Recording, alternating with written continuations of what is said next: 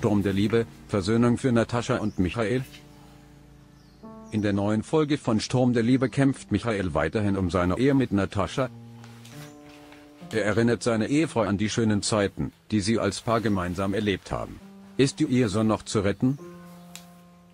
Zwischen Natascha, Melanie Wiegmann, und Michael, Erich Altenkopf, scheint es bei Sturm der Liebe nun endgültig vorbei zu sein. Sie kann ihm einfach nicht verzeihen, wie er mit ihr umgegangen ist, als sie ihm mit seiner Sucht helfen wollte. Michael ist inzwischen jedoch zur Einsicht gekommen. Der Arzt will um seine Ehe kämpfen, doch dafür ist es möglicherweise zu spät.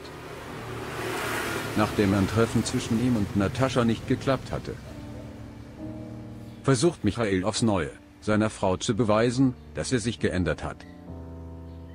Er erinnert sie an frühere Zeiten, als das Paar noch glücklich war.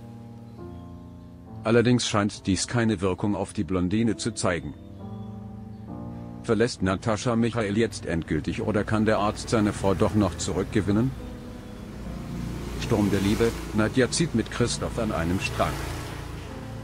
Währenddessen will sich Nadja, Annalena Kless, bei Sturm der Liebe an.